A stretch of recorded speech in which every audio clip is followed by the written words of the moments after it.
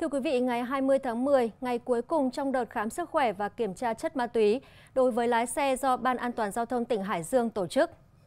Sau 10 ngày thực hiện lực lượng chức năng khám và kiểm tra sức khỏe cho hơn 1.600 lái xe của các doanh nghiệp thuộc Hiệp hội Vận tải ô tô Hải Dương, phát hiện 5 trường hợp dương tính với ma túy. Những trường hợp này sau khi xác định chính xác sử dụng ma túy, Ban An toàn Giao thông tỉnh yêu cầu doanh nghiệp chấm dứt hợp đồng lao động, thông báo tới các doanh nghiệp không được ký kết hợp đồng lao động với các trường hợp này và xử lý nghiêm theo quy định của pháp luật. Đây là năm thứ 9 Ban An toàn Giao thông tỉnh tổ chức khám sức khỏe định kỳ và kiểm tra để phát hiện lái xe sử dụng chất ma túy.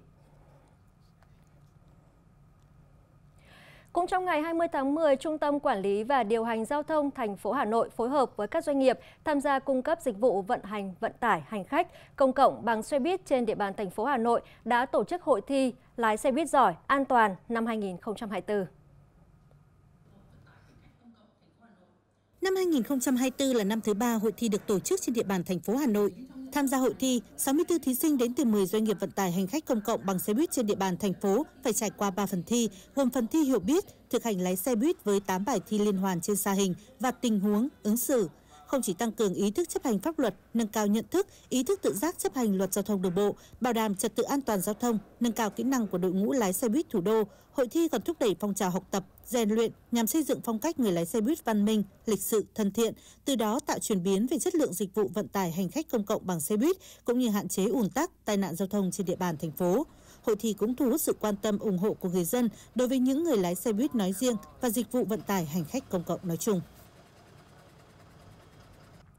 Lâm Bình là huyện miền núi nghèo nhất của tỉnh Tuyên Quang, hạ tầng giao thông vô cùng khó khăn. Năm 2013, Ủy ban nhân dân tỉnh đã mở tuyến đường từ xã Hồng Quang đến xã Bình An của huyện để thuận tiện giao thương. Giao thương nhưng hiện nay con đường này đã hư hỏng và xuống cấp.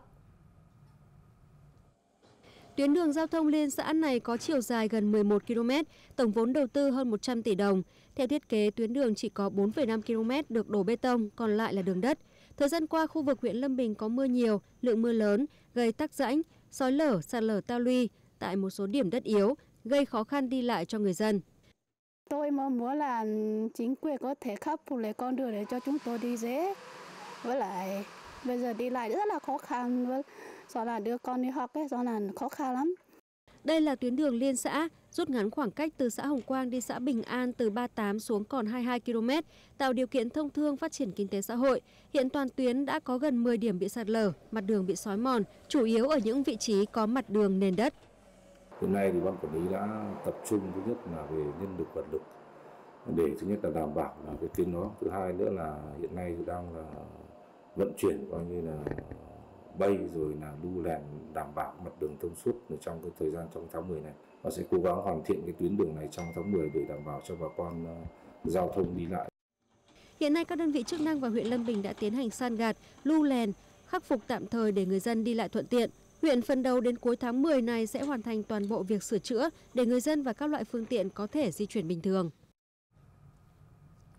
Từ nhiều năm qua, thì tỉnh Lạng Sơn xác định đưa du lịch trở thành thế mạnh phát triển kinh tế xã hội với các lợi thế vốn có của thiên nhiên cũng như văn hóa truyền thống xứ Lạng. Trong bức tranh du lịch xứ Lạng thì huyện Bắc Sơn nổi lên như một tọa độ vàng với đầy tiềm năng và lợi thế. Nằm trong vùng công viên địa chất Lạng Sơn, Bắc Sơn được biết đến là một trong những thung lũng đá vôi đẹp nhất thế giới. Nằm giữa bốn bề núi đá vôi trùng điệp, điểm tô những dòng sông uốn lượn qua các cánh đồng lúa trải rộng bạt ngàn, tạo nên một bức tranh hữu tình, quyến rũ. Cái lượng khách đến với à, làng du lịch cộng đồng à, Quỳnh Sơn, xã Bắc Quỳnh có số lượng tăng đột biến. Từ ngày 12 bắt đầu tổ chức cái giải chạy và đến ngày hôm nay thì hầu như là các nhà du lịch cộng đồng thì đều à, kín khách rồi và có những đoàn khách đã đặt trước từ 1 đến 2 tháng. Thời điểm Bắc Sơn đẹp nhất trong năm có lẽ là khi thung lũng Quỳnh Sơn nhuộm vàng màu lúa chín, Lễ hội mùa vàng Bắc Sơn với các hoạt động gắn với văn hóa nông nghiệp truyền thống tạo không gian để du khách trải nghiệm, hòa mình vào cảnh sắc thiên nhiên hùng vĩ, nên thơ. Mình được ừ, tham quan cũng như là được khám phá ờ, và được thưởng thức những cái ờ, lễ hội như là thi gặt, thi đập cho mình hồi tưởng lại những cái ký ức cái thời xưa của mình lễ hội này rất chi là ý nghĩa. Thực sự là với à, bằng ảnh hay là quay clip ấy thì không diễn tả nổi, không thể lột tả được hết cái vẻ đẹp bằng mắt mình nhìn thấy trực tiếp. Mình đúng là mình thực sự cảm thấy như thế. Ngoài việc tổ chức trải nghiệm trực tiếp trong chuỗi hoạt động của lễ hội năm nay, chương trình giới thiệu quảng bá thông tin đối ngoại về huyện Bắc Sơn sẽ được tổ chức vào ngày 25 tháng 10 tại không gian phố đi bộ Hoàn Kiếm, Hà Nội, nhằm giới thiệu quảng bá tiềm năng, lợi thế, cơ chế chính sách, kêu gọi hợp tác đầu tư để phát triển du lịch Bắc Sơn nói riêng và tỉnh Lạng Sơn nói chung.